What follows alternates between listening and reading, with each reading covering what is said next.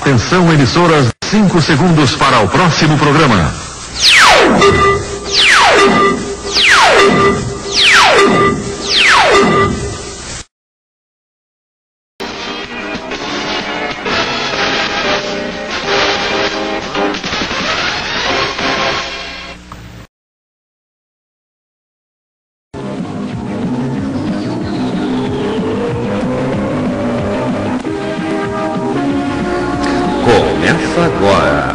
Jornal André Amorim, um jornal cheio de notícias até o fim.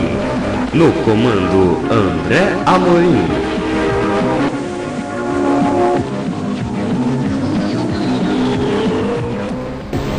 Olá! Muito bom dia, boa tarde, boa noite. Brasil! Com vocês, tudo bem? A partir de agora, Jornal André Morim, jornal cheio de notícias até o fim, edição 2069 de hoje. Quinta-feira, 23 de agosto de 2012, vamos às manchetes. Especial Nelson Rodrigues, 100 anos. Prova Nacional em setembro de 2013. Professor, concurso único para todo o país. Queima de arquivo no caso Bruno. Atenção, queima de arquivo no caso Bruno. Essas outras notícias de capa de dia você vai saber junto com algumas notícias do site Infochico e com, algumas, e com a piadinha do dia. Domingo tem cartela dos pratos. Saiba mais na edição de hoje do seu Jornal Dia. É a coleção Arte do Dia do seu Jornal Dia. Então sai cedo mais 2,90 você receberá mais dois para essa semana. Hoje tem cartela bônus dos copos. Hoje tem seu número 5, coleção Arte do Dia do seu Jornal Dia. Ok? Recorte o seu que está na capa de o dia e com mais 9,90 para pelo livro da semana. E o livro da semana é o livro do César Souza, que se chama Você é do tamanho dos seus sonhos. Ok? O Jornal André Morim começa agora. Estas e outras notícias você vai saber logo mais no Jornal André que já está no ar para você.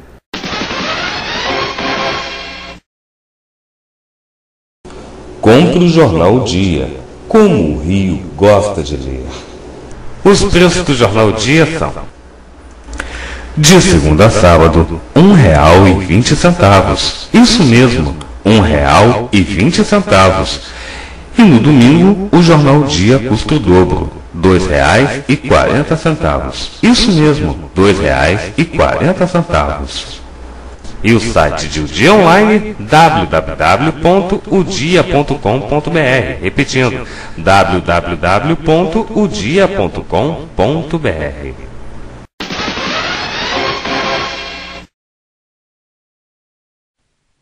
Piadinha. Loura de cachoeira. Por que a uma que mora lá de uma cachoeira tem a ilha grande e uma testa vermelha? Não sabe? Porque todo dia que acorda ela fala: Que baú é esse? E que coloca a mão na orelha e depois dá um tapa na testa e fala: Ah, ah, cachoeira. As notícias, por favor.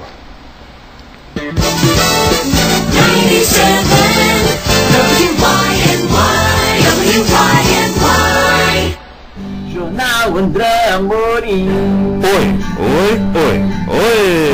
Jornal cheio de notícias até o fim. Aê!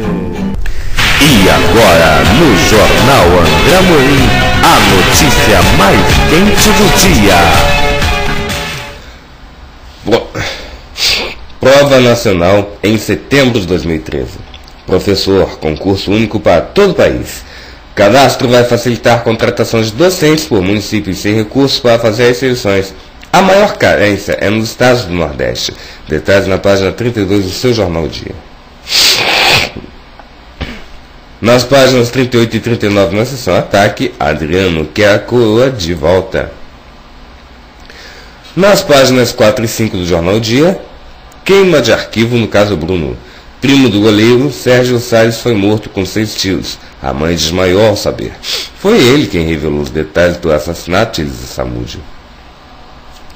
Na página 58, na seção de AD, na coluna de Léo Dias, descubra os segredos de Paulo Barros para o desfile da Unista Tijuca. Na sessão, no caderno Automania Moderno e Esportivo, Sonic Hatch vai agradar. Série especial Nelson Rodrigues 100 anos. Até a próxima quinta-feira, o dia publica a série em homenagem ao escritor. Hoje, artistas dizem o que pensam sobre suas frases. E agora, as notícias do site O Fuxico. Avenida Brasil. Carminha revela suas maldades iniciadas na infância. Ela confessa que ajudava Nilo a aplicar pequenos golpes. A revelação de parte do passado de Carminha, Adriano Esteves, começa a vir à tona em Avenida Brasil, novela do horário nobre da Globo. A mãe de Jorginho, Cauã Raymond, procura Nilo, José de Abril, para propor um pacto contra Nina, Débora Falabella. O catador se mostrará arredio e acusará a Megé de só se interessar por uma parceria depois de perder para a rival. Você foi expulso da sua própria casa, traída pelo Max, seu parceirinho. Quer dizer agora que está na, na bosque? Lembrou do velho aqui. Tarde demais, filhinha. Vocês são todos iguais. Na hora de desespero, paizinho pra lá, paizinho pra cá. Depois é passa fora, cachorro. Brada Nilo. Sem saída, Carminha dá mil reais para ele e irá embora do lixão. Tocado com o gesto, o catador vai procurá-la e a lembrar os velhos tempos quando ele perguntar o motivo de Santiago não ajudar a própria filha. Santiago ou Juca de Oliveira. É, não ajudar a própria filha. Ele não forma comigo. Quem forma sempre formou. Foi você. Lembra o golpe da filha desnutrida na rodoviária? Eu carregando uma maravilha? Aí de repente você, pimba, fingia que desmaiava. Juntava gente. Sempre tinha um pato que pagava a refeição e ainda comprava a passagem para você voltar para Deus me livre. Eu tinha 7, 8 anos e a nossa parceria já era certeira. Preciso do teu apoio, cara. Eu vou te pagar com juros e correção. Confia em mim. Eu te dei mil reais ontem. Tudo que eu tinha. Sente só como eu te valorizo, diz Carminha. Ainda em Avenida Brasil, Carminha surta ao flagrar Tufão e Nina em jantar romântico. O ex-jogador tenta seduzir a cozinheira em um restaurante chique. Nos próximos capítulos de Avenida Brasil da Globo, Tufão, Milo Benício, finalmente vai criar coragem e armar toda uma situação para se declarar para a Nina, Débora Falabella. Mas as coisas não terminam bem com o ex-jogador que ia. Certo dia, após dizer a Carminha, Adriano Esteves, que quer se separar dela, Tufão convida a Nina para um passeio no shopping, mas no final leva a moça a um requintado restaurante da Zona Sul Carioca. Nina, seu Tufão, eu tô surpresa. Tufão, é o que eu queria, te fazer uma surpresa. Por isso inventei aquela história de shopping. Gostou? Nina, é, gostei, claro, mas por que o senhor me trouxe aqui? E o Tufão, Bom, dizem que o chefe desse restaurante é o melhor do Rio de Janeiro, mas eu só vou acreditar se a melhor chefe que eu conheço confirmar isso para mim. Se você gostar do dos pratos do cara, pode copiar e fazer lá em casa. Eu não conto pra ninguém, prometo. Nina. tá bom, pode deixar, mas com certeza eu vou adorar. É um restaurante muito bem conceituado, pena que eu não estou vestindo uma roupa mais adequada. Tufão. Imagina, você é bonita de qualquer jeito. Neste momento, o garçom chega para pegar os pedidos. O ex-jogador pede um uísque com gelo e Nina uma água com gás, justificando que precisa voltar ao trabalho.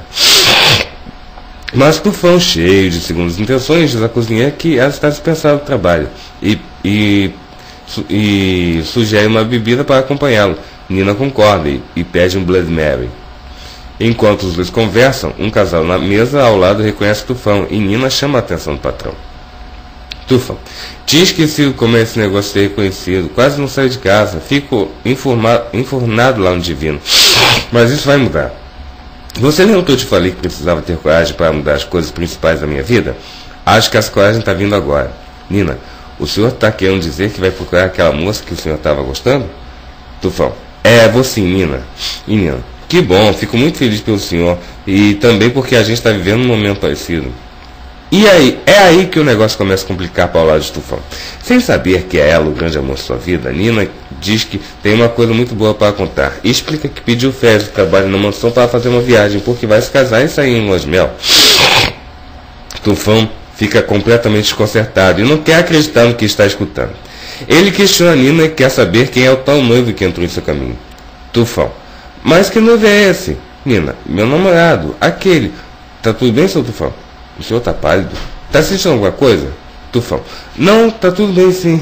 Desnorteado, quando o garçom chega com as bebidas, Tufão pede que ele deixe a garrafa toda de uísque na mesa, que ele mesmo se serve. Perdido com o que acabou de ouvir, o ex-jogador questiona se, além de casar, Nina também deixará seu trabalho na mansão. Ela confirma que o namorado não acha conveniente que ela continue a trabalhar na casa da família. Tufão, não gosto desse cara. Ainda não conheço, mas já não gosto. Nina, o senhor vai gostar, eu tenho certeza. A gente teve uma fase difícil, é verdade. Mas já passou. Acho mesmo que o senhor vai ficar muito feliz quando conhecer meu namorado. Tufão. É, vamos ver. Nina, o senhor está chateado porque o meu namorado sugeriu de eu estar na sua casa, mas é porque ele sabe que eu quero ter meu próprio restaurante. E agora, com essa que eu vou receber, talvez dê para realizar este sonho. É uma oportunidade. Percebendo que a garota está mesmo decidida, Tufão pede para que ela espere mais um pouco para se casar e deixar sua casa. O Scrack explica que Agatha gosta muito dela e vai ficar triste mais quando souber a separação dos pais da partida de Nina. Para a alegria de Tufão, Nina diz sentirá muito sair da mansão, principalmente por causa dele. As palavras dão um alento ao coração apaixonado. Tufão, por minha causa, por quê? Nina, porque eu tenho uma grande estima, uma grande amizade pelo senhor. Na sua companhia me sinto à vontade, me sinto segura, como eu me sentia com meu pai. Mais uma vez a garota joga, joga água fria no patrão. Mas ele não se dá por vencido e continua a fazer tudo para agradá-la. Tufan começa a falar seu interesse por gastronomia e mostra os avanços que fez esses estudos sobre o assunto. Nina admira e elogia o patrão.